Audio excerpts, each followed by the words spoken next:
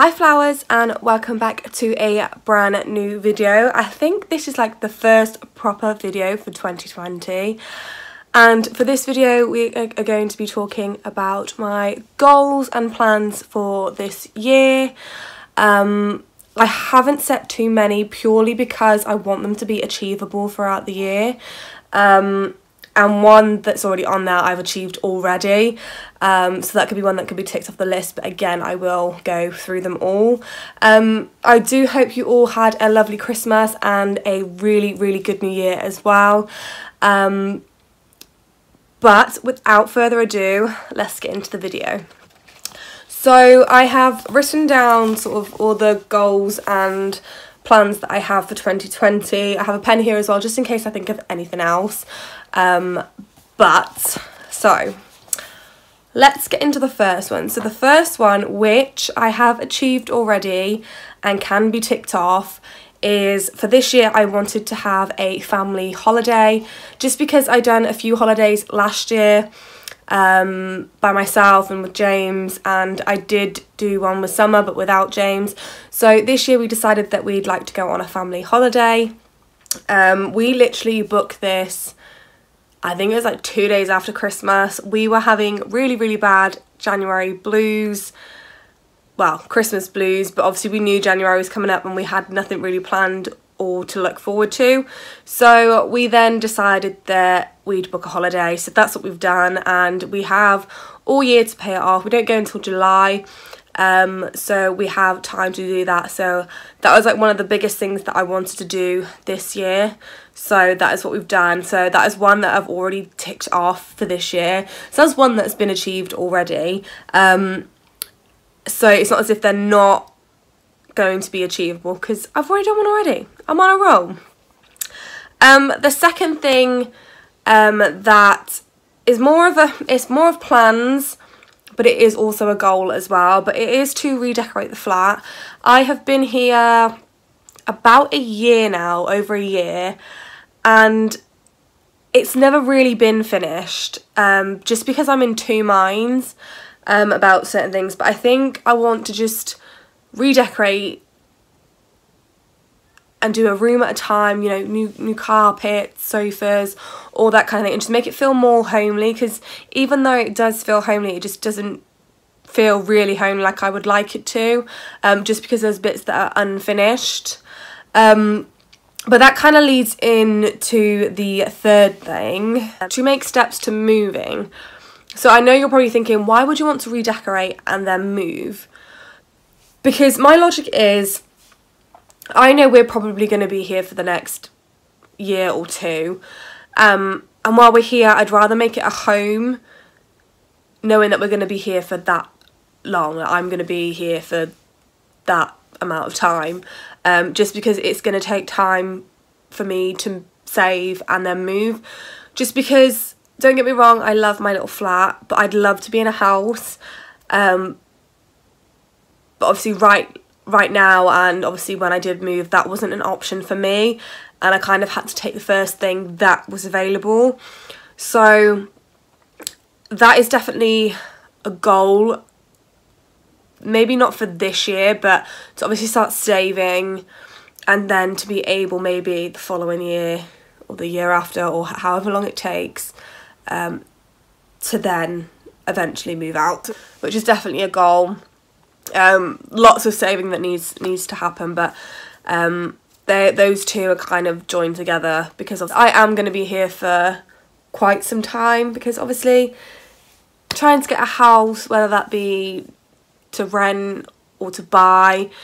It takes time and money and to find the right place as well. So I know that's probably not going to happen this year, but the goal is to start saving then for a house, um, which, you know, I feel like I'm becoming a proper adult now, um, even though I've practically moved out into this flat over a year ago and I moved out at the age of 17 so it's not as if I haven't had to be an adult for quite some time now. Um, the fourth thing is to be more organised. So I just generally don't feel like I'm organised. Like I lose track of time really easily. I'm never on time for things. Um, ask anyone, especially my mum and dad, like they tell us the time we'll be there like an hour later. I'm just never on time. Just be more organised at home. Um, just it's kind of like just a whole general thing. Like just for me, just to be more organised because I am so messy. I'm just like so all over the place. Um, I just think I need to get into a routine of becoming more organised, um, which will help. Which that's not necessarily a goal.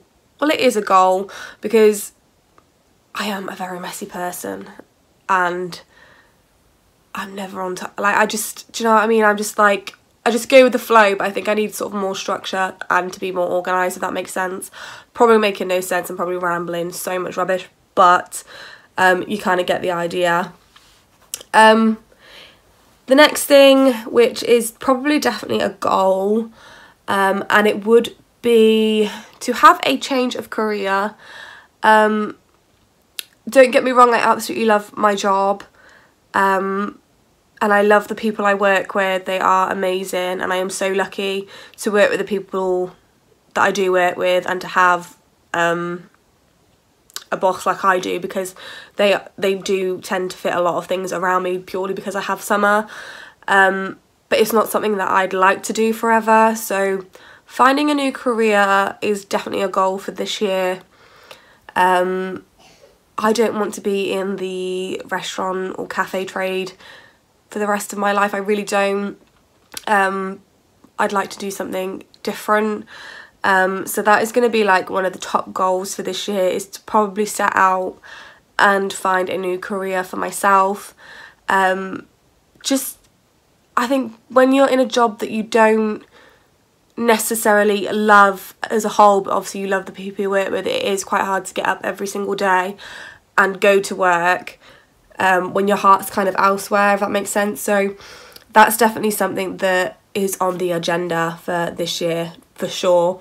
Um, because I want something new and challenging and something that's going to benefit me if that makes sense. I don't know. Um, the next thing is kind of tying in with the, the one that I've just explained, but is to get a qualification. So obviously I have all my GCSEs, I never did A-levels because I ended up getting pregnant. Um, I have done online courses, but I think I want to extend it a little bit further. So I do have a qualification in gel polish, um, and I think I want to extend that further by doing things like lashes, brows, waxing, sort of extend it further and then maybe go into the beauty industry. Um, maybe even take a course or class on makeup. Yes, I am self-taught, but to actually have a qualification and say, yes, I am qualified to do so would be absolutely amazing. And it's something that I have definitely wanted to do for a very long time, but never really got around to doing it. Um, so that is definitely, again, on my list of goals for this year. Um, and again, I've only ha I have only have like nine goals and achieve like and plans for this year. Um, so that should be very achievable, and I've already completed one, so it shouldn't be too hard. I say.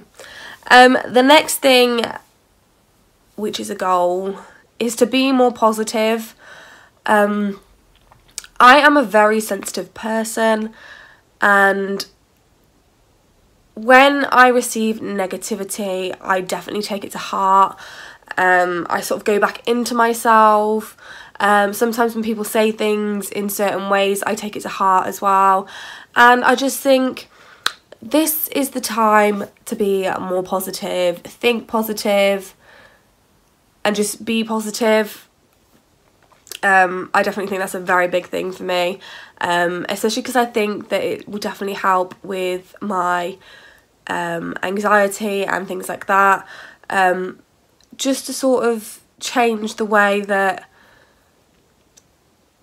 I see things and how I take things. And I think maybe taking things with a pinch of salt and being a positive person in yourself, it it kind of spreads um, and I think definitely taking any negativity out of my life as well will definitely help with that.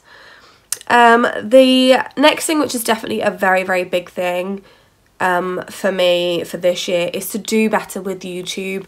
So I have been on YouTube for about, I think I set up my YouTube channel about four years ago. I think it's around about then. And I did post a few things here and there, but I was never really consistent. Um, just because I, I I started with basically nothing and I thought to myself I was watching everyone else and I thought well I don't have that setup I don't have the perfect camera I don't have this I don't have that I can't do it. But in actual fact that's where you learn and you grow. So I think I definitely want to do better I definitely want to create better content as well and I definitely feel like I need to invest more time and be more consist consistent that sounded really weird when I said that, and be more consistent with the videos and the things that I post. So obviously I do try and post between once and twice a week and maybe three times a week. They're always on their set days, so it's normally a Wednesday and a Saturday. Um, and then there may be the odd time there is a Monday depending on how productive I've been during the week and whether I've got things edited and things like that. Um, obviously, I want to grow my subscribers and viewers. Um, I actually didn't really start taking this too seriously until last year, um, where I definitely thought to myself, this is something that I want to do. Like, I enjoy doing it. Um, I love just talking, even though people find it very weird that you're basically talking to yourself. Um, and obviously some family and friends just don't understand why but it makes me happy and I think that obviously you have to be consistent you have to put in the hard work.